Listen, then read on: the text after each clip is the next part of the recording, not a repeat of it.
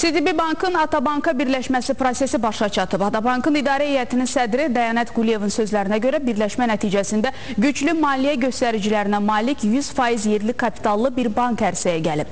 Bankların resurslarının birləşdirilməsi nəticəsində kifayət həcmdə maliyyə ehtiyatları formalaşıb, bankın kapital mövqeyi möhkəmlənib, müştərilərin banka etimadı artıb. Onun sözlərinə görə birləşmədən sonra Atabankın kredit portfeli 546 milyon manata çatıb. Hazırda bu göstərici üzrə Atabank ölkə bankları arasında dördüncü yerə yüksəlib. Bankın xidmət və maliyyə infrastrukturu möhkəmlənib. Hazırda Atabank filial şəbəkəsinə görə 31 filial və şöbə ilə ölkə bankları arasında 5-ci, bankomat şəbəkəsinə görə 3-cü, post terminal sayına görə isə 1-ci yerdə qərarlaşıb.